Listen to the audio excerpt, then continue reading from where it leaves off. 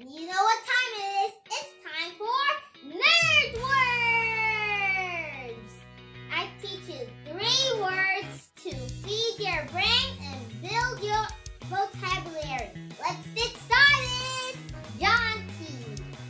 Jaunty means lively in manner or appearance. Jaunty. Cow cow.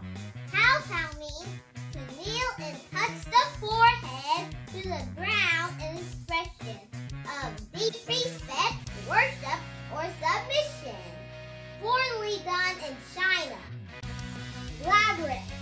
Labyrinth means a complex structure of connected passages through which it's difficult to find one's way, basically a maze. Labyrinth. There